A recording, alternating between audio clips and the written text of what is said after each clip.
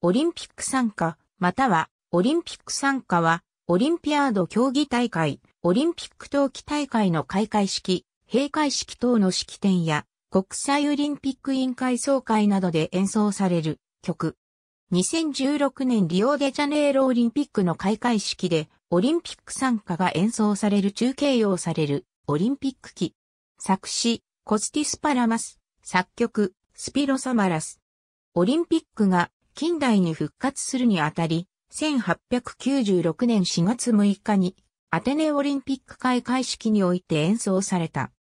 しかし楽譜が消失したため、その後のオリンピックでは参加が演奏されなかったり、大会ごとに別の参加が演奏されたりして、この曲は忘れ去られていた。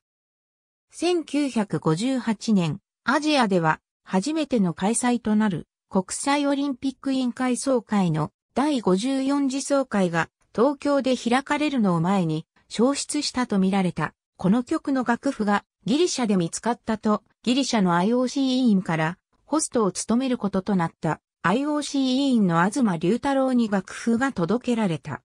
ところが、この楽譜が作曲者サマラス自身の手でピアノ用に編曲されたものだったため、日本オリンピック委員会は NHK を通じて作曲家の小関裕二に依頼し、オーケストラ用に財布、編曲した。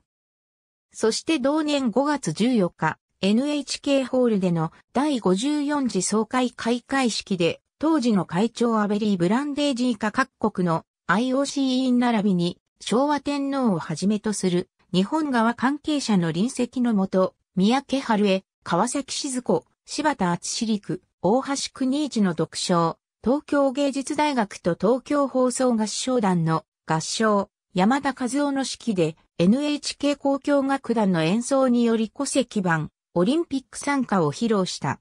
国際オリンピック委員会は日本の善意と曲の素晴らしさに感激、以後この戸籍版を公式に参加と認定した。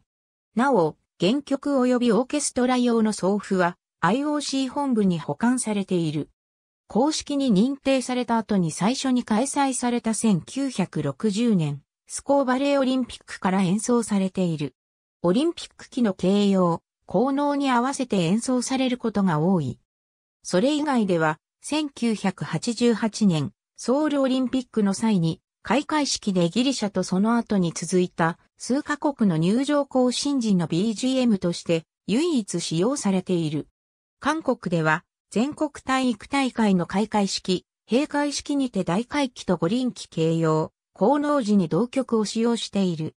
オリンピック大会の開閉式では、原則歌詞をギリシャ語、もしくは英語で報奨されるが、開催国の公用語で報奨される慣例がある。ありがとうございます。